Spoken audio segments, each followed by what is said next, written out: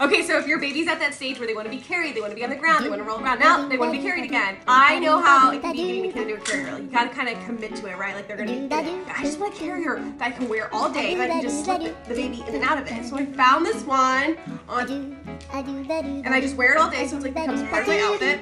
And then when the, baby's fussy, like now, I can just slide him in and out of this thing all day long. And then you just tighten it up. And I like it because it's a mix of like a wrap and a more structured carrier. My favorite part is just how pretty it is and the price is very fair.